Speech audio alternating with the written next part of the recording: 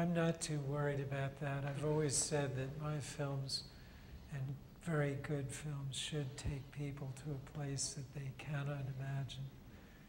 And our young animator, Dan Mass, who's 20, who's 24 years old when he did this, is by my estimation a kind of genius. And I'm very, very determined to work with him again. You may laugh about this, but I've got 8,000 photographs of Arnold Schwarzenegger that I took over a 10 year period between about 1972 and 82. And I read in the New Yorker two weeks ago that someone had taken still photographs of Nijinsky, the great ballet dancer, and animated them and turned them into a film. And right now I'm thinking as quickly as I can about how to take those 8,000 photos with all rights that I acquired and turn it into a two hour film on Arnold Schwarzenegger. And I observed that the budget in his films is about 200 million, so maybe Hollywood will give me some big money this time. this right here. Uh, on the lava, fields at the bottom of the crater, how do we know that the channels were carved by water instead of lava? How do we know the channels on Mars were carved by water instead of lava? There are a number of lines of evidence that point, I think, pretty conclusively in that direction. Yes, lava can car carve channels. Yes, water can carve channels. But there tend to be distinctive morphologic differences between the two. Uh, for example, when water, when, when lava carves a channel, as it's sloshing around, some of the lava will go up on the banks of the channel, and what happens is that it solidifies there, so it actually builds little levees along the edge of the channel. We don't see that. Uh, the most distinctive thing is that many of the channels on Mars have well developed tributary systems, branching and branching and branching, and that's very hard to explain as, as lava channels. So I, I think we can say with a pretty considerable degree of confidence that, that what we're seeing in the case of the, the valley that, that flows into Gusev crater is that it is water carved. There are places on Mars where we do see lava channels, but it's, it's possible to distinguish between the two on the basis of their morphologic details. Sir. Um, we know that there's water on Mars for certain because of Phoenix. Uh, any desire to put a rover in the polar caps, or are you afraid you're going to lose it due to the uh, year before you The question is, would there be any desire to use a rover in the polar regions?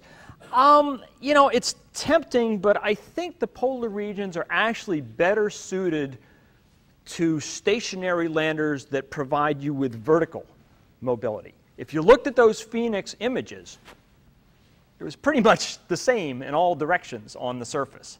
Uh, the polar deposits of Mars are very flat, and you can travel for long distances over the surface and see very much the same thing.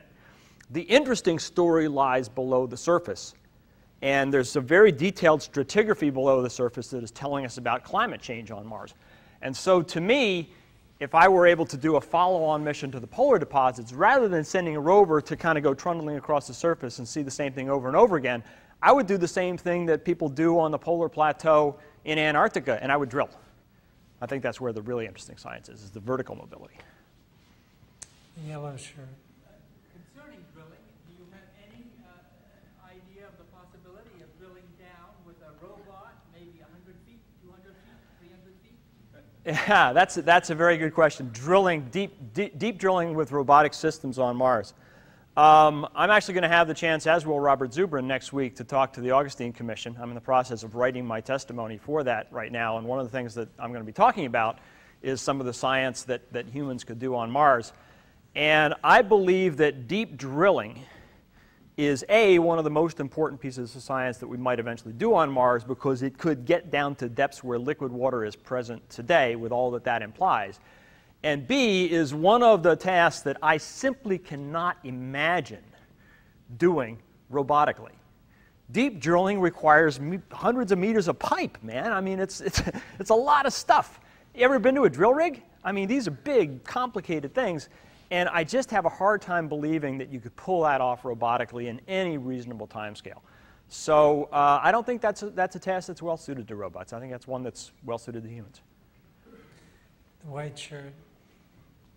Have you found quartz, or do you think you'll find quartz? Have we found quartz? No, we have not found quartz at all on Mars. We have found silica, SiO2, but it's amorphous silica. In particular, it's hydrated amorphous silica. It's opal, sort of like the gemstone, only all ground up. But nowhere have we found quartz, and that's a, that's a mineral that we would be able to identify pretty easily. So we haven't found it. Haven't found it. Excuse me? You think you'll find it? I Uh, mean, you know, I think at this point I'd have to say it's unlikely. Mars is basically a basalt planet. Basalt doesn't have a lot of doesn't have a lot of silica, uh, doesn't have as high a silica content as some other rocks, and so it doesn't tend to have a lot of quartz in it. Right here. How much of the solar arrays degraded since day one?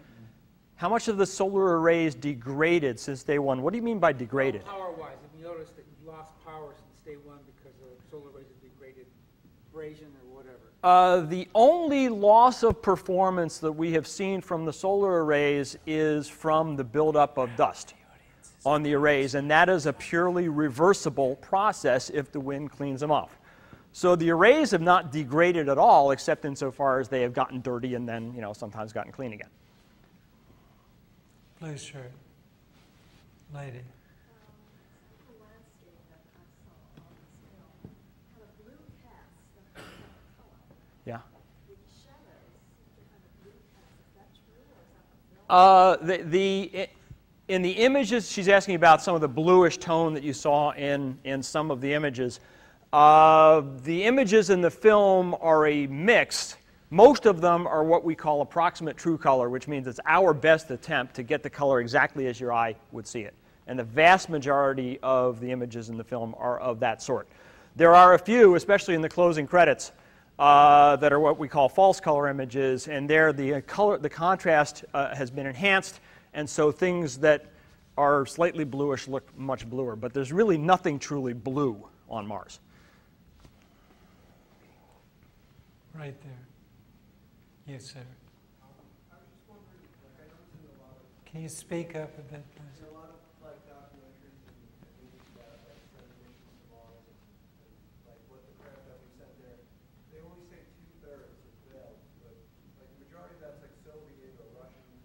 Like there always be like a disclaimer like that NASA's mostly successful.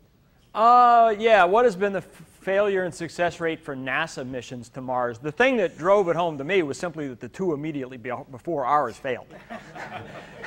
and that kind of shaped our environment. I think, yeah, if you stack it up with the successes now of Phoenix, uh, Spirit, Opportunity, plus the recent orbiters, NASA's success rate at Mars is actually pretty darn good. Uh, but, and, and in fact, I think the human race's success rate is starting to creep up towards 50%. Uh, but it's still, don't take away from that that we've got Mars figured out. It's still a damn hard place to do business. Far left side. Based off of what you just said, and talking about MSL, I've had a number of friends say, hey, those things are in their fifth year of their 90-day mission. Why aren't we just mass producing more of those and sending 50 of them to the sun? And Susan knows it's something new. It's proven they work. Why not? Why aren't we mass producing spirit and opportunity? Um, it's a complicated question. It- part of it is that NASA just historically has not been an agency that flies multiple, multiple, multiple copies of something that works well. They tend to want to go on to the next thing. And I, that's sort of driven by the personality of the agency, by the personalities of the people who are within it. Um, Mars is a complicated enough place, it's a diverse enough place that you could throw down 8 or 10 or 12 or 50 of these things, and each one would be finding new things. Um, I think the idea has some merit, but that is not what the agency has chosen to do. And it, to do so would go very much against the historical trends within the agency. Sir. How will that lava get at the Gusev to, to start with? I've never seen it vol- obvious volcanic. That's The, the question is, how did uh, all the lava get into Gusev crater in the first place?